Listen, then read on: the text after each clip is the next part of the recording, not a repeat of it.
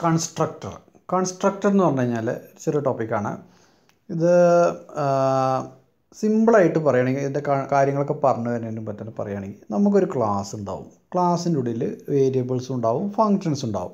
ഈ കാര്യങ്ങൾ എല്ലാവർക്കും നല്ല ബോധ്യം ഉണ്ടാവും വിചാരിക്കണം ഈ ക്ലാസ്സിന്റെ ഉള്ളിലുള്ള ഫങ്ഷന്റെ പേര് നമ്മളുടെ ക്ലാസ്സിന്റെ അതേ പേരിട്ട് കഴിഞ്ഞാൽ അങ്ങനത്തെ ഫങ്ഷനാണ് കൺസ്ട്രക്റ്റേഴ്സ് എന്ന് പറയുന്നത്. വ്യക്തമായല്ലോ? ക്ലാസ്സിന്റെ പേരും ക്ലാസ്സിന്റെ ഉള്ളിലെ ഏതെങ്കിലും ഒരു ഫങ്ഷന്റെ പേര് അതേ ക്ലാസ്സിന്റെ പേര് തന്നെ ആവർത്തിക്കുകയും ചെയ്താൽ അത് അങ്ങനത്തെ ഫങ്ഷനെ നമ്മൾ പറയുന്ന പേരാണ് കൺസ്ട്രക്ടേഴ്സ്.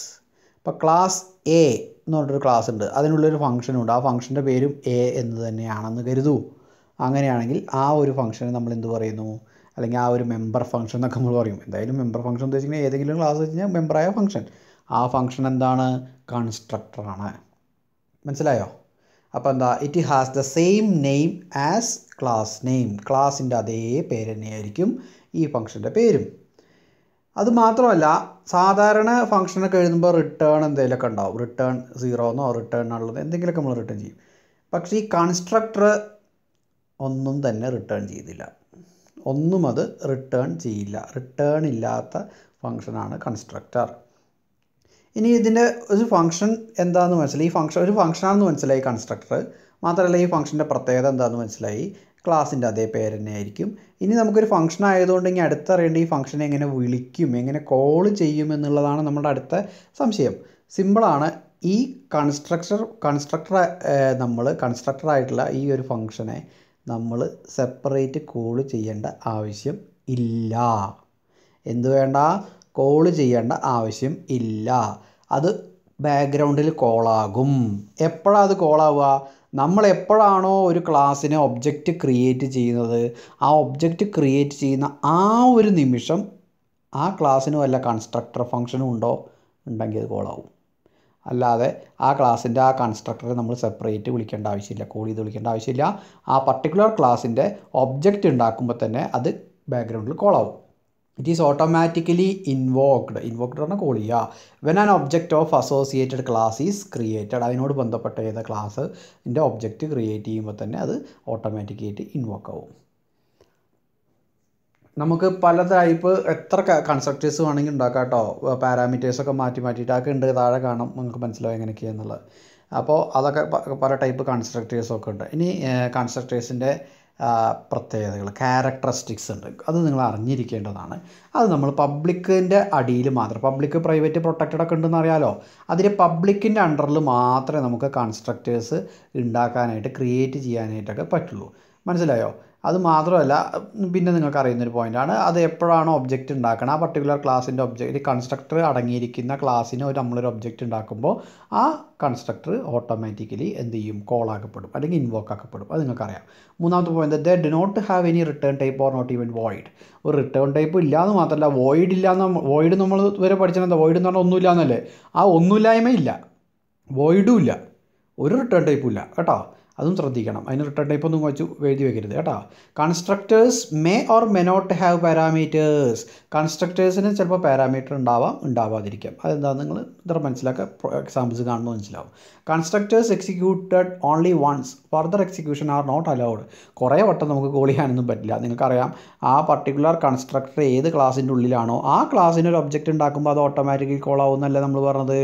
അപ്പോൾ ഒബ്ജക്റ്റ് ഉണ്ടാക്കുമ്പോൾ മാത്രമേ കോൾ ആവില്ല അത് നമുക്ക് സെപ്പറേറ്റ് വേണ്ട സമയത്തൊന്നും അതിനെ കോൾ ചെയ്യാൻ പറ്റില്ല. ഒബ്ജക്റ്റ് എപ്പോഴാണ് ഉണ്ടാവുക വെച്ചാൽ അപ്പോൾ കോൾ ആവും. Okay class name and constructor name are name are same ക്ലാസിന്റെ പേരും കൺസ്ട്രക്ടറിന്റെ പേരും സെയിം ആണ്. നിങ്ങൾക്കറിയാം. ഇതാണ് ഇതിന്റെയൊക്കെ ക്യാരക്ടറിസ്റ്റിക്സ് ഇനി നിങ്ങൾ ഒരു കൺസ്ട്രക്ടറിന്റെ ഒരു എക്സാമ്പിൾ നിങ്ങൾ കണ്ടോളൂ കേട്ടോ ആഷ് ഇൻക്ലൂഡ് ഐ ഒ സ്ട്രീമൊക്കെ എഴുതി യൂസിങ് നെയിം സ്റ്റു namespace S T D ഒക്കെ എഴുതി ക്ലാസ് സം സം എന്ന് പറഞ്ഞിട്ടൊരു ക്ലാസ് നമ്മൾ ഉണ്ടാക്കി. അതിനകത്ത് മൂ മൂന്ന് variable int num one comma num two result semicolon മൂന്ന് നം വണ്ണ് നം ടു അതിന്റെ റിസൾട്ട് എന്ന് പറഞ്ഞാൽ മൂന്ന് ഇന്റിജർ വേരിയബിൾ നമ്മൾ ഉണ്ടാക്കി. എന്നിട്ട് പബ്ലിക്കിന്റെ അണ്ടറിൽ സം എന്ന് പറഞ്ഞൊരു ഫംഗ്ഷൻ എഴുതി. കണ്ടോ റിട്ടേൺ ടൈപ്പ് ഒന്നുമില്ലാതെ വെറും സം മാത്രം എഴുതി കണ്ടോ? ആ സം എന്താ? ക്ലാസ്സിന്റെ അതേ പേരുള്ളതല്ലേ ആ ഫംഗ്ഷന്റെ പേര്? സം ബ്രാക്കറ്റ് സി ബ്രാക്കറ്റ് എന്നിട്ട് അതിന്റെ ഉള്ളിൽ എന്താ എഴുതിയത് C out enter two numbers cin num one num two result is equal to num one plus num two sum ചെയ്യുകയാണ് ചെയ്യുന്നത്.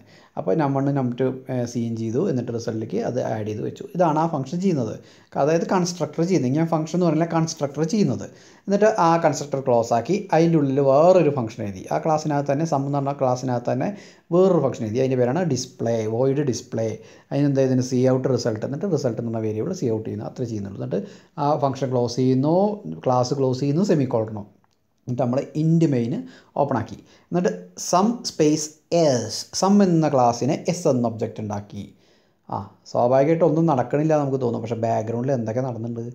നിങ്ങൾക്കറിയാം നമ്മളെ കൺസ്ട്രക്ടർ ഏത് ക്ലാസ്സിന്റെ ഉള്ളിലാണോ ഉള്ളത്. ആ ക്ലാസ്സിനൊരു ഒബ്ജക്റ്റ് നമ്മൾ ഏത് നിമിഷമാണോ ഉണ്ടാക്കുന്നത് ആ നിമിഷം ആ കൺസ്ട്രക്ടർ പ്രവർത്തിച്ച് തുടങ്ങും നമ്മളറിയാതെ ബാക്ക്ഗ്രൗണ്ടിൽ അപ്പോൾ സം സ്പേസ് എസ് ചെയ്യുമ്പോൾ സം എന്ന് പറയുന്ന ക്ലാസ്സിന് സം എന്ന ക്ലാസ്സിന്റെ ഉള്ളിൽ സം എന്ന് പറയുന്ന പേര് പേരുള്ളൊരു ഫംഗ്ഷൻ ഉണ്ട്. അതായത് കൺസ്ട്രക്ടർ ഉണ്ട്. അപ്പോൾ സമ്മിന് നമ്മൾ എസ് എന്നുള്ള ഒബ്ജക്റ്റ് ഉണ്ടാക്കുമ്പോൾ തന്നെ ആ കൺസ്ട്രക്ടർ വർക്ക് ചെയ്യാൻ തുടങ്ങും. വർക്ക് ഇതെന്താ? Scene num one num to ഒക്കെ ചെയ്ത് റിസൾട്ടിൽ നം വൺ പ്ലസ് നം ടു ചെയ്ത് അവിടെ ഇരിക്കും. എന്നിട്ട് നമ്മൾ എസ് ഡോട്ട് ഡിസ്പ്ലേ വിളിച്ചപ്പോൾ എന്താ? റിസൾട്ട് ഡിസ്പ്ലേ ചെയ്യാൻ പറയുമ്പോൾ നമുക്ക് എന്ത് കിട്ടും? Output okay enter two number six eight result പതിനാല്. മനസ്സിലായോ? അങ്ങനെ ഔട്ട്പുട്ട് വരും.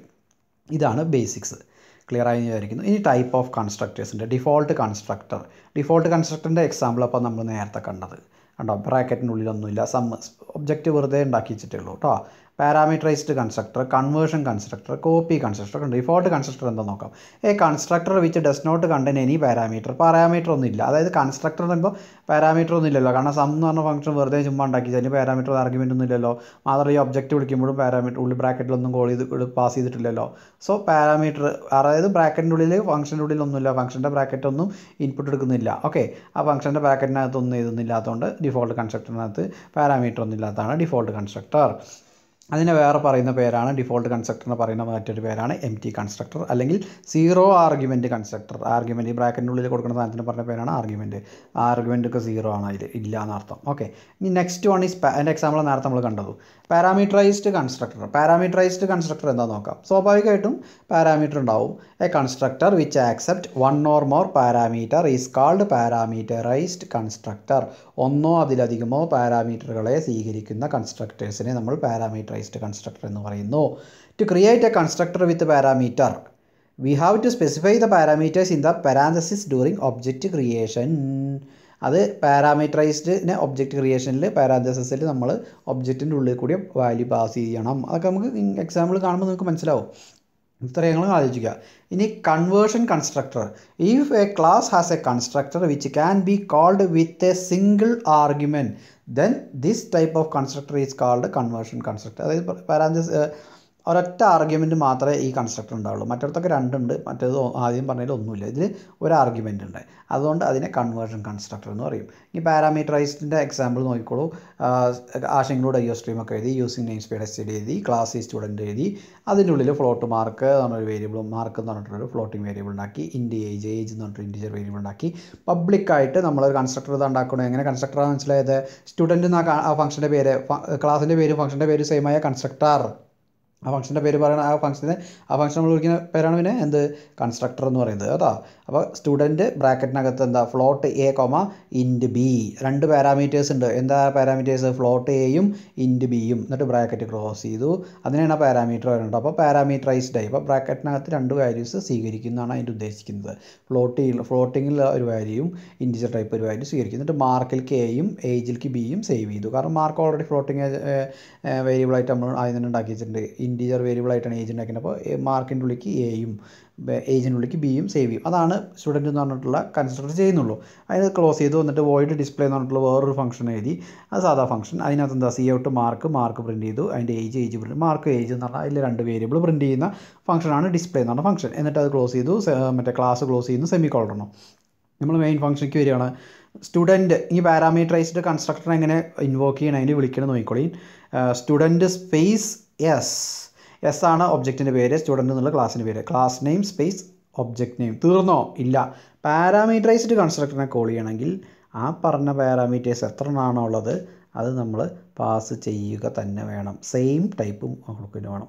എസിന്റെ ഉള്ളിൽ എന്താ കൊടുത്ത വാല്യൂസ് നാൽപ്പത് പോയിന്റ് അഞ്ചും കോമ ഇരുപത്. രണ്ട് വാല്യൂസാണ് ഒന്നാമത്തെ വാല്യൂ എന്താ? ദശാംശ സംഖ്യ ഫ്ലോട്ടിങ്ങാണ് രണ്ടാമത്തെ എന്താ? ട്വന്റി ഇന്റിജറാ അപ്പോൾ നമ്മളെ ആര് ഇൻവോക്കാവും ആര് ഉണരും ആരെ കോൾ ചെയ്യും സ്റ്റുഡന്റ് എന്ന് പറയുന്ന ഫസ്റ്റ് സ്റ്റുഡന്റ് ബ്രാക്കറ്റിൽ ഫ്ലോട്ട് കോമ ഫ്ലോട്ട് ബി ആ ഒരു കൺസ്ട്രക്ടർ ഇൻവോക്ക് ആകും. എന്നിട്ട് S dot display return zero output എന്ത് വരും? മാർക്ക് എന്നുള്ളിടത്ത് നാൽപ്പത് പോയിന്റ് അഞ്ച് ഏജ് ട്വന്റി വരും. ക്ലിയർ ആയി എന്ന് വിചാരിക്കുന്നു. അങ്ങനെ തന്നെ വിളിക്കുമ്പോഴും നമ്മൾ പാരാമീറ്റർ പാസ് ചെയ്യണം. പാരാമീറ്ററൈസ്ഡ് കൺസ്ട്രക്ടറിനെ കോൾ ചെയ്യണ സമയത്ത് അല്ലെങ്കിൽ അതിനെ ഇൻവോക്ക് ചെയ്യണ സമയത്ത് ഒബ്ജക്റ്റ് ക്രിയേഷനിലൂടെയാണ് ഇൻവോക്ക് ചെയ്യാൻ പറ്റുള്ളൂ. ആ ഇൻവോക്ക് ചെയ്യണ സമയത്ത് നമ്മൾ ആ വാല്യൂസ് ഒബ്ജക്റ്റിന്റെ ബ്രാക്കറ്റിൽ കൊടുക്കണം. എന്നാലേ അത് വിളിക്കപ്പെട്ടുള്ളൂ കേട്ടോ. ഇനി കൺവേർഷൻ ടൈപ്പ് എന്താ നോക്കാം. കൺവേർഷൻ ടൈപ്പ് എന്ന് പറഞ്ഞാൽ ഒന്നുമില്ല ക്ലാസ് ഒക്കെ എഴുതി ന്യൂ ന്യൂസ് സ്പേസ് എസ് ടിയുടെ എഴുതി ക്ലാസ് എംപ്ലോയി എഴുതി ഇൻഡ് ഏജ് എഴുതി പബ്ലിക് എംപ്ലോയി ഇൻഡ് ബി ഒരൊറ്റ ആർഗ്യുമെന്റേ ഉള്ളൂ. അതുകൊണ്ടാണ് കൺവേർഷൻ സ്വാഭാവികമായിട്ട് ഏജിലേക്ക് ആ ബി സേവ് ചെയ്തു കൺസ്ട്രക്ടർ ക്ലോസ് ചെയ്തു അടുത്തൊരു ഫംഗ്ഷൻ എഴുതി ഡിസ്പ്ലേ എന്താ ചെയ്യുന്ന? ഏജ് എന്ന് പറഞ്ഞ വേരിയബിൾ ഡിസ്പ്ലേ ചെയ്യുന്ന ഒരു ഫംഗ്ഷനാണ് ക്ലോസ് ചെയ്തു. പിന്നെ കേളി ബ്രാക്കറ്റ് ഇട്ട് ക്ലാസ് ക്ലോസ് ചെയ്തു സെമി സെമി കോണിട്ട് ക്ലാസ് ക്ലോസ് ചെയ്തു മെയിൻ ഫംഗ്ഷൻ ഓപ്പൺ ചെയ്തു എംപ്ലോയി ഈ ബ്രാക്കറ്റിൽ ട്വന്റി വെച്ചിട്ട് വിളിച്ചൊരൊറ്റ ആർഗ്യുമെന്റ് ഉള്ളതുകൊണ്ട് ഇരുപത് മാത്രം കൊടുത്താൽ ഏത് വർക്കാവും എംപ്ലോയി എന്നുള്ള കൺസെപ്റ്റ് വർക്കാവും ഈ ഡോട്ട് ഡിസ്പ്ലേ ചെയ്ത ആ എംപ്ലോയിൽ ഏജ് പ്രിന്റ് ആവും return zero age equal zero എന്ന് വരും. ഇതാണ് കൺവേർഷൻ സിമ്പിൾ അല്ലേ? ഇനി നെക്സ്റ്റ് വരുന്ന ലാസ്റ്റത്തെ ടൈപ്പാണ് കോപ്പി കൺസ്ട്രക്ടർ കോപ്പി കൺസ്ട്രക്ടർ പറഞ്ഞാലും സിമ്പിളാണ് കോപ്പി കൺസ്ട്രക്ടർ എന്ന് പറഞ്ഞാൽ സാധാ കൺസ്ട്രക്ടർ തന്നെയാണ്. പക്ഷേ അതിന്റെ പ്രത്യേകത എന്താ വെച്ച് കഴിഞ്ഞാൽ അത് ഒരു ഓൾറെഡി ഉള്ള ഒരു ഒബ്ജക്റ്റിനെ എന്ത് ചെയ്യും? കോപ്പി ചെയ്യും. ഇനിഷ്യലൈസ് ചെയ്യുക അല്ലെങ്കിൽ കോപ്പിയൊക്കെ ചെയ്യും. മനസ്സിലായി? ഒന്നൊന്ന് മറ്റേതിലേക്ക് സാധനം പകർത്തും. അല്ലെങ്കിൽ ഇനിഷ്യലൈസ് ചെയ്യുക എന്നൊക്കെ നമുക്ക് പറയാം. ഒരു ഓൾറെഡി ഉള്ള ഒരു ഒബ്ജക്റ്റിനെ അത് ഇനിഷ്യലൈസ് ചെയ്തിട്ട് ഇതിൽ അത് ആ ഒരു പർട്ടിക്കുലർ ഒബ്ജക്റ്റിനുള്ളിലേക്ക് സേവ് ചെയ്യുകയൊക്കെ ചെയ്യും. അപ്പോൾ എങ്ങനെയൊക്കെ നമുക്ക് നോക്കാം. A copy construct is a member function which initialise an object of the same class അതിന്റെ ഉള്ളത്തെ ക്ലാസ് തന്നെ വേറൊരു ഒബ്ജക്റ്റിനെ അത് ഇനിഷ്യലൈസ് ചെയ്തു. അതാണ് കോപ്പി കൺസ്ട്രക്ഷന്റെ പ്രത്യേകത. Which has been created previously മുമ്പ് ക്രിയേറ്റ് ചെയ്ത അതേ ഇതിനെ ഒബ്ജക്റ്റിനെ പിന്നെ അത് എന്ത് ചെയ്യും? ഇനിഷ്യലൈസ് ചെയ്യും. അതൊക്കെയാണ് ഇതിന്റെ പ്രത്യേകത. എന്താ എങ്ങനെ അത് വർക്ക് ചെയ്യണം നോക്കാം നമുക്ക്. ആഷ് ഇൻക്ലൂഡൊക്കെ എഴുതി using namespace S D എഴുതി ക്ലാസ് പോയിന്റ് എന്ന് പറഞ്ഞിട്ടൊരു ക്ലാസ് എഴുതി. അതിനകത്ത് നമ്മൾ രണ്ട് വേരിയബിൾ ഉണ്ടാക്കി ഇൻഡെക്സ് വൈ എന്നിട്ട് നമ്മൾ പബ്ലിക്കായിട്ട് പോയിന്റ് വെറും വെറും ഒരു സാധാ ഡിഫോൾട്ട് കൺസ്ട്രക്ടർ ഉണ്ടാക്കി പോയിന്റ് എന്ന് പറഞ്ഞിട്ട് അതിൽ എക്സിലേക്ക് പൂജ്യം വൈയിലേക്ക് സീറോ ടു എന്നിട്ട് അത് ആ കൺസ്ട്രക്ടർ ക്ലോസ് ചെയ്തു. അടുത്ത് വേറൊരു കൺസ്ട്രക്ടർ ഉണ്ടാക്കി പോയിന്റ് ബ്രാക്കറ്റിനകത്ത് പാരാമീറ്ററൈസ്ഡ് എങ്ങനെ മനസ്സിലായത്? പോയിന്റ് ഉള്ളിൽ ഇൻഡെക്സ് വൺ കോമ ഇൻഡ് വൈ വൺ ഉണ്ട്. അതിട്ടു സെമി കയറി ബ്രാക്കറ്റ് ഓപ്പൺ ചെയ്ത് എക്സിലേക്ക് എക്സ് വണ്ണും വൈയിലേക്ക് വൈ വണ്ണും സേവ് ചെയ്തു. അതിനുള്ള ആർഗ്യുമെന്റിൽ എന്താ വരുന്നത് വെച്ചാൽ ബ്രാക്കറ്റിനകത്ത് വരുന്ന വാല്യൂ എക്സിലേക്കും വൈയിലേക്കും യഥാക്രമം സേവ് ചെയ്തു. എന്നിട്ട് അത് ക്ലോസ് ചെയ്തു. അടുത്തത് മൂന്നാമതായിട്ട് നമ്മളൊരു എന്ത് ചെയ്യുന്നത് ഒരു കൺസ്ട്രക്റ്റ് ഉണ്ടാക്കണം അവിടെ ഉണ്ടാക്കുമ്പോൾ ഒരു പ്രത്യേകത ഉണ്ട്. അതാണ് കോപ്പി കൺസ്ട്രക്ടറിന്റെ ഇമ്പോർട്ടൻസ് കോപ്പി കൺസ്ട്രക്ടർ മനസ്സിലാവുക അങ്ങനെയാണ്. അവിടെ ആംബ്രസിന്റെ ഉണ്ടാവും. ആന്റിന്റെ കല്യാണത്തിന്റെ ഓർമ്മയില്ലേ? അതുണ്ടാവും point point space ampersand P three P three എന്ന് പറഞ്ഞിട്ടൊരു ഒരു ഒരു ഒരു അഡ്രസ്സ് പി ത്രീ എന്ന് പറഞ്ഞിട്ടൊരു ഇതിന്റെ ഒബ്ജക്റ്റിന്റെ അഡ്രസ്സാണ് അതിന്റെ ഉള്ളിലേക്ക് പാസ് ചെയ്യുന്നത് എന്നിട്ട് എന്താ ചെയ്യണം? എക്സിന്റെ ഉള്ളിലേക്ക് പി ത്രീ ഡോട്ട് എക്സും വൈന്റെ ഉള്ളിലേക്ക് പി ത്രീ ഡോട്ട് വൈയും പി ത്രീയിൽ എന്താ വരിക വെച്ചാൽ അതിന്റെ എക്സ് വാല്യൂം അതിന്റെ വൈ വാല്യൂം സേവ് ചെയ്യുക. അതാത് എക്സിലേക്കും വൈയിലേക്കും എന്നിട്ട് അത് ക്ലോസ് ആക്കി. അതാണ് അതിന്റെ ടേണിംഗ് പോയിന്റ് അവിടെയാണ്. അതങ്ങനെ വെച്ചാൽ അതിന്റെ സിന്റാക്സ് അത് അങ്ങനെ എഴുതണം. എന്നിട്ട് അതിന്റെ താഴെ വോയിഡ് ഡിസ്പ്ലേ എന്ന് പറഞ്ഞൊരു ഫംഗ്ഷൻ ഓപ്പൺ ചെയ്തു. അതിൽ എക്സും വൈയും പ്രിന്റ് ചെയ്യുന്നു. ദാറ്റ്സ് ഓൾ നമ്മളെ ക്ലാസ് മൊത്തത്തിൽ കഴിഞ്ഞു. സെമി കോൾട്ട് ക്ലോസ് ചെയ്തു. നമ്മൾ മെയിൻ ഫംഗ്ഷൻ ഓപ്പൺ ചെയ്തു. എന്നിട്ട് ഞാൻ ഓരോ കൺസ്ട്രക്ടർ എങ്ങനെ വരുമ്പോൾ എന്തൊക്കെ മാറ്റങ്ങൾ വരിക നോക്കാം. ആദ്യം നമ്മൾ പോയിന്റ് എന്നാണല്ലോ നമ്മുടെ ക്ലാസ്സിന്റെ പേര്. Point space P one P one എന്ന് പറഞ്ഞിട്ടൊരു ഒബ്ജക്റ്റ് ഉണ്ടാക്കി. പി വൺ എന്നൊരു ഒബ്ജക്റ്റ് ഉണ്ടാക്കുമ്പോൾ എങ്ങനെയാണ് ബാക്കറ്റിൽ പത്ത് പതിനഞ്ച് ഇട്ടു. അപ്പോൾ സ്വാഭാവികമായിട്ട് ഏതാ വിളിക്കപ്പെടുക? Point index one comma int Y one എന്ന് പറഞ്ഞ കൺസ്ട്രക്ടറിൽ വിളിക്കുക. കാരണം രണ്ട് ആർഗ്യുമെന്റ്സ് രണ്ട് പാരാമീറ്റർ ഉള്ളത് രണ്ട് പാരാമീറ്ററോട് കൊടുക്കുകയും ചെയ്യുന്നു പത്തും പതിനഞ്ചും. പത്ത് ഏതിലേക്ക് പോകും എക്സ് വണ്ണിക്ക് പോകും പതിനഞ്ച് ഏതിലേക്ക് പോകും വൈ വണ്ണിക്ക് പോകും എന്നിട്ട് എക്സ് വൺ ഏതിലേക്ക് സേവ് ചെയ്യും? എക്സിലേക്ക് സേവ് ചെയ്യും. പ്രോഗ്രാമിലേക്ക് നോക്കണേ. വൈ വൺ ഏതിലേക്ക് സേവ് ചെയ്യും? വൈയിലേക്ക് സേവ് ആക്കും. അപ്പോൾ ആ ഒരു സാധന സെറ്റായി ആ ഒരു കൺസ്ട്രക്ടർ വർക്കായേ മനസ്സിലായല്ലോ. Point P two equal to P one point P two equal to P one P വണ്ണിലുള്ള values P ടുവിലേക്ക് കോപ്പി ചെയ്യും. അതാണ് copy constructor point P two is equal to point P two equal to P one അപ്പോൾ എന്താ വരിക നോക്കാം. P ടുവിന്റെ ഉള്ളിലത്തെ P വണ്ണിന്റെ സാധനങ്ങൾ അതായത് പത്തും പതിനഞ്ചൊക്കെ എടുത്തിട്ട് പി ടുവിലേക്ക് ക്ലോസ് ചെയ്യും അപ്പം അവിടെ നോക്കുക. പോയിന്റ് പോയിന്റ് ബ്രാക്കറ്റിനുള്ളിൽ പോയിന്റ് ആംബർസെന്റ് പി ത്രീ ആ പി ത്രീ എന്നുള്ളിടത്ത് എന്ത് വരും? ആ പി വണ്ണിന്റെ സാധനങ്ങളൊക്കെ കയറിപ്പോവും അതായത് ഓൾറെഡി ഉള്ള പഴയ ഒബ്ജക്റ്റ് ഏതാ? പി വൺ ആ. പി വണ്ണിന്റെ അഡ്രസ്സ് പോകും എന്നിട്ട് എന്താ? P P three dot X എന്നുള്ളത് എന്താ ശരിക്കും? P P one dot X അതിലുള്ള എക്സ് വാല്യൂ എന്താ? പത്ത്. അത് ഇതിലേക്ക് സേവ് ആക്കും. പി ത്രീ ഡോട്ട് വൈ എന്നുള്ളത് വർക്കാകുമ്പോൾ എന്താ? ഓൾറെഡി അതിലുള്ള വൈ വാല്യൂ എന്താ? പഴയ ഒബ്ജക്റ്റ് ഏതാ? പി വണ്ണാ അതിന്റെ വൈ വാല്യൂ എന്താ? അപ്പോൾ വൈ വാല്യൂ എന്താ? പതിനഞ്ച്. അത് നമ്മുടെ വൈക്കും സേവ് ആക്കും അതാണ് അവിടെ നടക്കുന്നത്. പിന്നെ പോയിന്റ് പി ത്രീ സാധാ ഒരു ഡിഫോൾട്ട് കൺസ്ട്രക്ടറാണ് പി ത്രീ വെറുതെ കോൾ ചെയ്തിട്ടുള്ളൂ അതേതാ? നമ്മുടെ ഫസ്റ്റ് സാധനം. X Y X equal to പൂജ്യം വൈ ഈക്വൾ ടു പൂജ്യം എന്നിട്ട് നമ്മളിങ്ങനെ ഓരോന്ന് വിളിക്കുക കേട്ടോ. P three dot display P three dot display എന്ന് പറയുമ്പോൾ ഏത് ഫംഗ്ഷനാ എന്താ ഔട്ട്പുട്ട് വരിക? പി ത്രീന്റെ ഏതാ സെറ്റ് ആയി ഉണ്ടാവുക? പി ത്രീ എന്ന് പറയുന്നത് സാധാ ഡിഫോൾട്ടാണ് ഡിഫോൾട്ട് സെറ്റ് ആകുമ്പോൾ എന്താ? X equal zero Y equal zero zero എന്ന് വരും. P one dot display P one ഏതാ? നമ്മുടെ പത്ത് പതിനഞ്ച് കയറി പോയത് പത്തും പതിനഞ്ചും. പി ടു ഡോട്ട് ഡിസ്പ്ലേയിൽ എന്താ വരിക? പത്തും പതിനഞ്ചും എടുത്തിട്ടുണ്ടല്ലോ കോപ്പി ചെയ്തിട്ടുണ്ടല്ലോ. മനസ്സിലായില്ലേ? അപ്പോൾ അവിടെയും പത്തും പതിനഞ്ചും വരും ഔട്ട്പുട്ട് എന്നിട്ട് റിട്ടേൺ സീറോ എടുത്തിട്ട് മെയിൻ ക്ലോസ് ചെയ്യാം. ക്ലിയർ ആയി ഞാൻ വിചാരിക്കുന്നു. Thank you